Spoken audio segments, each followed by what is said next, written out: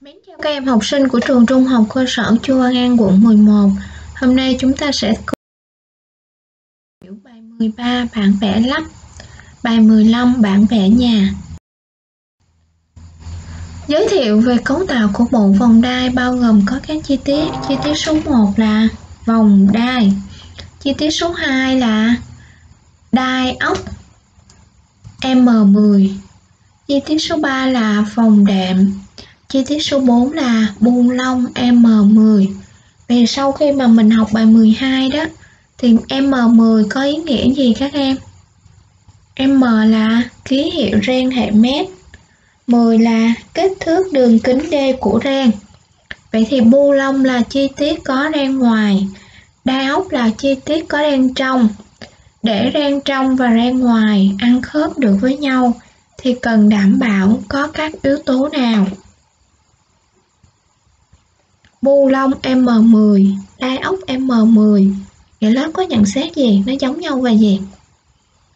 Giống nhau để ren trong và ren ngoài ăn khớp được với nhau thì cần có các yếu tố giống nhau là Đầu tiên là ký hiệu ren. Thứ hai là kích thước đường kính D của ren.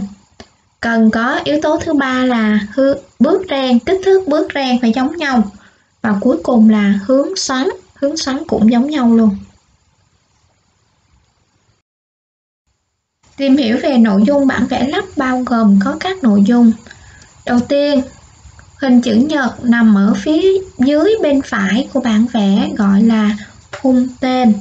Ở phần khung tên cho chúng ta biết được các thông tin bao gồm là tên gọi sản phẩm, viết bằng chữ in hoa, ha, tỷ lệ bản vẽ, bản số, người vẽ, người kiểm tra, ngày vẽ, ngày kiểm tra, tên cơ sở chế tạo. Tiếp tục là hình chữ hình chữ nhật nằm phía trên khung tên. Phần này gọi là bảng kê, cho chúng ta biết được số thứ tự, tên gọi chi tiết, số lượng chi tiết và vật liệu chế tạo nên chi tiết. Nội dung thứ ba bạn là bao gồm là hình biểu diễn, gồm có hình chiếu hoặc là hình cắt, công dụng để diễn tả hình dạng, kết cấu và vị trí của các chi tiết trên trên sản phẩm. Lưu ý đây là bản vẽ lắp ha, do đó nó sẽ thể hiện vị trí của từng chi tiết trên sản phẩm. Cuối cùng là kích thước, gồm có kích thước chung của bộ vòng đai, kích thước lắp của các chi tiết. Thì tóm lại nội dung bản vẽ lắp gồm có các nội dung, mấy nội dung các em? Bốn nội dung ha. Khung tên, bản kê, kích thước và hình biểu diễn.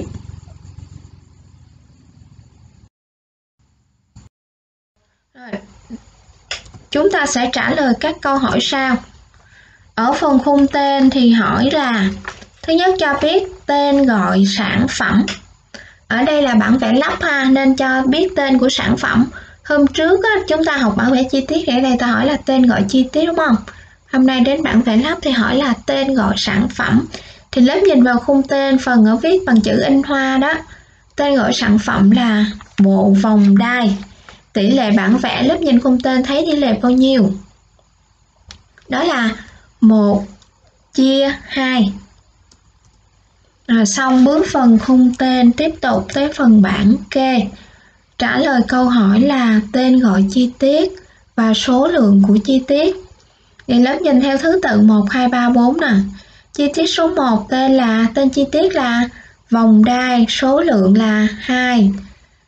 Đai ốc M10 số lượng là 2, vòng đệm số lượng 2, bu lông M10 số lượng cũng 2. Bước thứ ba Hình biểu diễn Hỏi tên gọi hình chiếu và tên gọi hình cắt. Thì lớp nhìn có hai hình vẽ. Hình thứ nhất phía trên thì có một phần có cả những đoạn song song. Thì đây là hình cắt Do hình cắt này chỉ cắt có một phần trên chi tiết thôi nên người ta gọi là hình cắt cục bộ. Hình cắt cục bộ ha.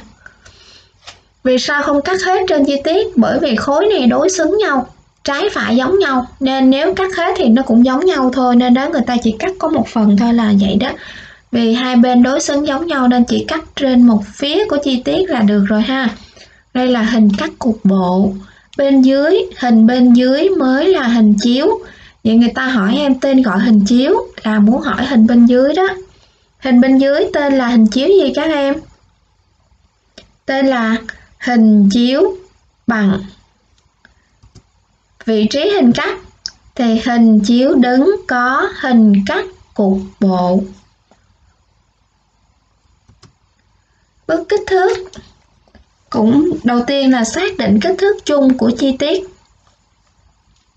Vậy thì khối này chúng ta sẽ xác định ba kích thước chung theo ba trục. Đó là trục chiều dài, chiều rộng và trục chiều cao. Các em nhìn xem, chiều dài của chi tiết này, sản phẩm này là bao nhiêu? Ở đây trục chiều dài có hai kích thước là 110 và 140 đúng không? Chúng ta sẽ chọn số lớn nhất là 140 là chiều dài trục chiều rộng. Chỉ có trên hình chiếu bằng là mới có chiều rộng thôi. Vậy chiều rộng sẽ là 50 chiều cao trục chiều cao thì duy nhất trên hình chiếu đứng là mới có chiều cao thôi. Thì chiều cao ở đây có phi 78, phi 50 và 20 vậy các em chọn số nào? chọn số lớn nhất ha. Đó là phi 78 vậy kích thước chung sẽ là 140, 50 và 78 tiếp tục xác định kích thước lắp giữa các chi tiết. Vậy các em nhìn coi để cố định hai cái vòng đai này lại với nhau thì người ta dùng chi tiết nào để cố định lại? Đó chính là bu lông và đai ốc. Vậy thì hỏi kích thước lắp giữa các chi tiết là hỏi kích thước bu lông và đai ốc bu lông đeo ốc kích thước là bao nhiêu các em? Đó là M10 tiếp tục. Kích thước xác định khoảng cách giữa các chi tiết. Thì ở đây chúng ta thấy có khoảng cách giữa hai lỗ nè. Khoảng cách giữa hai lỗ là 110 tiếp tục bên trong, hình trụ rỗng bên trong ha. Thì phần này khoảng cách là 50 bước thứ năm, phân tích chi tiết để xác định được vị trí của các chi tiết. Xác định vị trí của các chi tiết người ta bằng cách là người ta sẽ tô màu cho các chi tiết. Thì các em nhìn xem, gọi tên nè, dựa vào màu sắc gọi tên nè, coi nhớ chi tiết tên gì không? Chi tiết số 2 màu xanh lá, tên gì các em? Tên là đai ốc. Chi tiết màu vàng là vòng đệm.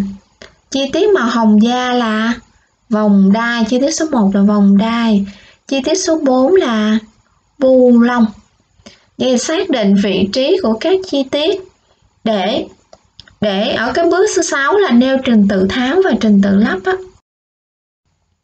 Vậy cô muốn chúng ta sẽ tháo từng chi tiết này ra, các em sẽ làm cách nào? Đó chính là sử dụng cờ lê để tháo đai ốc ha. Tháo đai ốc phía trên nè, chi tiết số 2 tháo đai ốc ra nè.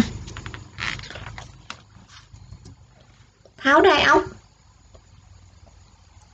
Lấy được vòng đệm Vòng đệm là chi tiết số 3. Sau đó tiếp tục lấy bu lông tới vòng đai hoặc là lấy lấy vòng đai rồi tới bu lông. Vậy nêu trình tự tháo sẽ là 2, 3, 4, 1 hoặc là 2, 3, 1, 4. À, sau khi tháo rồi thì đến trình tự lắp. Thì chúng ta lưu ý là chi tiết nào mà tháo cuối cùng thì khi lắp sẽ lắp đầu tiên. Đây là trình tự lắp của bộ vòng đai. Lắp sẽ là 1 4 3 2 là 4 1 3 2. Công dụng của bộ vòng đai dùng để làm gì các em? Phần rỗng hình trụ bên trong đó, chức năng của nó là dùng để ghép nối chi tiết hình trụ với chi tiết khác. Nè, bước số 6 ha. Bước 6 là nêu trình tự tháo, trình tự lắp và nêu công dụng của sản phẩm. À, đây là trình tự khi mà chúng ta đọc một cái bản vẽ lắp bao gồm các bước như sau, có 6 bước. Các em đọc phần chú ý.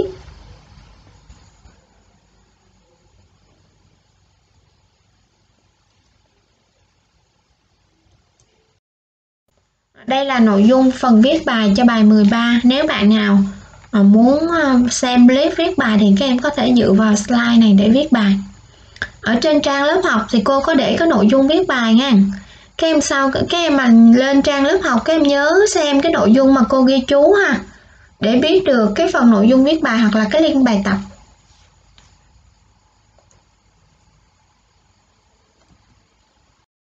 À, tiếp tục chúng ta sẽ tìm hiểu bài tiếp theo là bài 15 bản vẽ nhà. Đây là hình phối cảnh của một số ngôi nhà.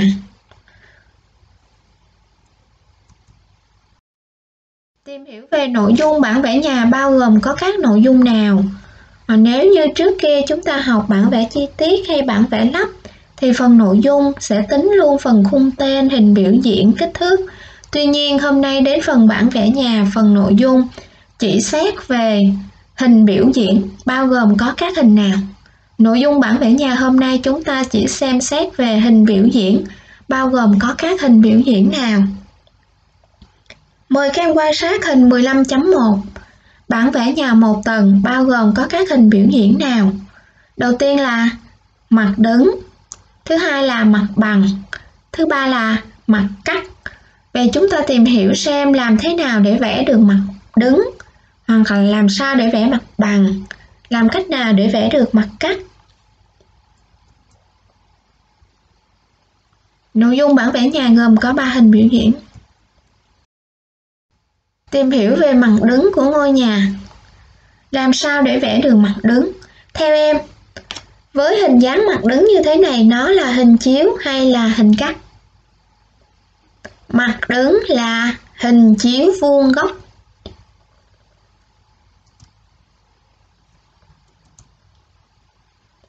Công dụng là dùng để diễn tả mặt ngoài của ngôi nhà. Thấy được hình dáng bên ngoài của ngôi nhà.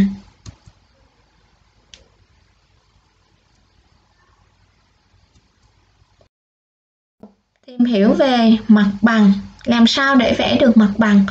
Về các em quan sát xem. Mặt bằng cho chúng ta biết được vị trí của các phòng. Đây có hai phòng ngủ, một phòng sinh hoạt chung.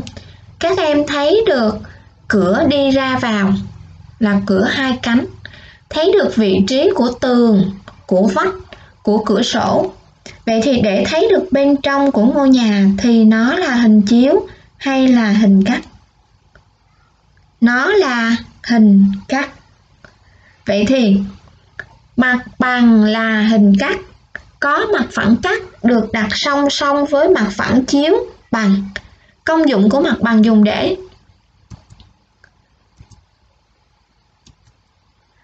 diễn tả vị trí, kích thước của tường, của vách, của cửa đi, cửa sổ và các phòng trong ngôi nhà. Và mặt bằng là hình biểu diễn quan trọng nhất trong bản vẽ nhà. Tìm hiểu về mặt đứng. Theo em để thấy được cái độ cao của nền, của tường, của mái thì mặt cắt mặt cắt AA nó là hình chiếu hay là hình cắt mặt cắt là hình cắt. Trong trường hợp này, mặt phẳng, mặt mặt cắt, mặt phẳng cắt được đặt song song với mặt phẳng chiếu cạnh. Công dụng của mặt cắt là dùng để biểu diễn các bộ phận kích thước của ngôi nhà theo chiều cao. Công dụng mặt cắt, biểu diễn kích thước theo chiều cao, ha. Phần hai La Mã, bản ghi ký hiệu quy ước một số bộ phận của ngôi nhà.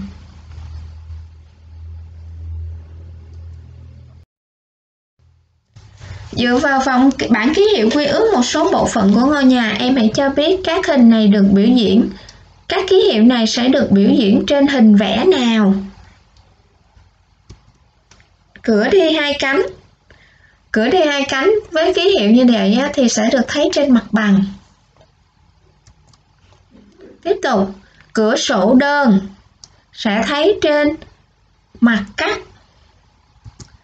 Phần ký hiệu bên dưới của cửa sổ nè, sẽ thấy ở trên mặt bằng. Mặt bằng thì ký hiệu cửa sổ như vậy đây. Tiếp tục cầu thang. Ký hiệu của cầu thang thấy trên mặt bằng. Ký hiệu của cầu thang thấy trên mặt đứng. Tiếp tục về tìm hiểu về khi đọc bản vẽ nhà thì chúng ta sẽ đọc theo trình tự như sau. Bước đầu tiên đọc là khung tên. Trả lời câu hỏi là tên gọi ngôi nhà. Vậy lớp cũng nhìn vào phần khung tên ha, phần phía dưới nè. Khung tên thì thể hiện tên gọi ngôi nhà là, viết bằng chữ in hoa nha các em, là nhà một tầng. Tỷ lệ bản vẽ là bao nhiêu? 1 chia 100 đây là tỷ lệ thu nhỏ hay phóng to các em thu nhỏ ha đối với bản vẽ xây dựng thì sẽ là bản vẽ thu nhỏ và nhỏ hơn vật thật là 100 lần. Bước thứ hai đọc hình biểu diễn hỏi tên gọi hình chiếu. Trong ba hình biểu diễn này, hình nào vẽ bằng phương pháp là hình chiếu vuông góc? Đó là mặt đứng. Tên gọi mặt cắt. Đây còn lại hai hình còn lại chính là mặt cắt, đó là mặt bằng và mặt cắt AA.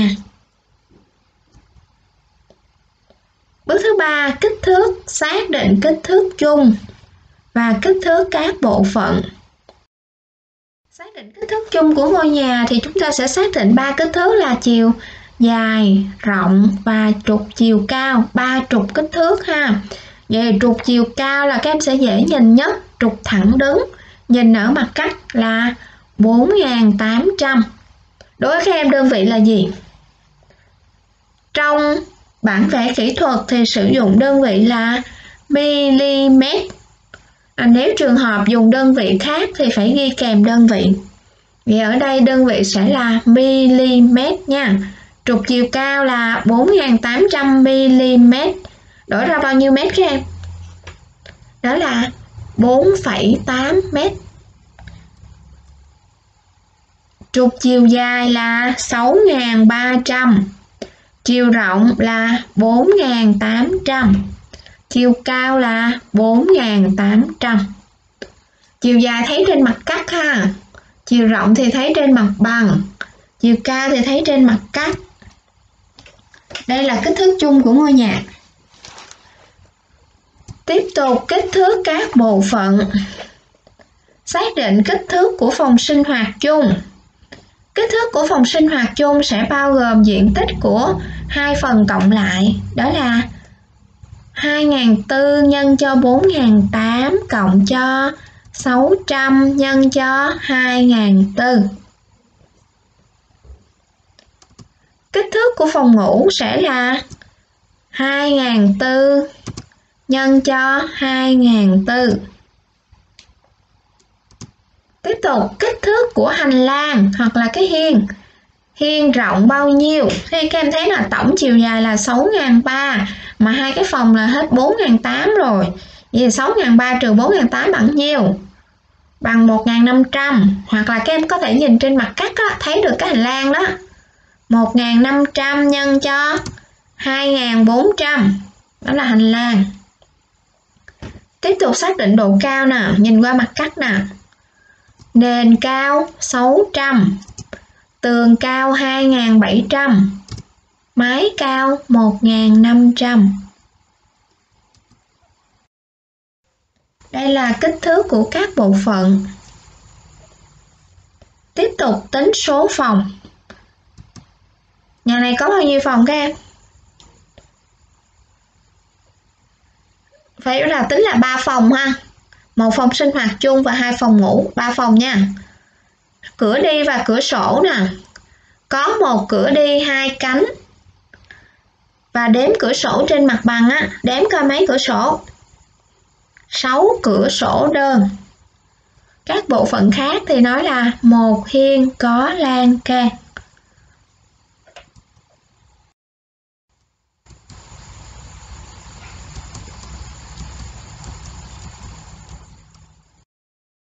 À, chúng ta vừa tìm hiểu xong bài 15 bản vẽ nhà.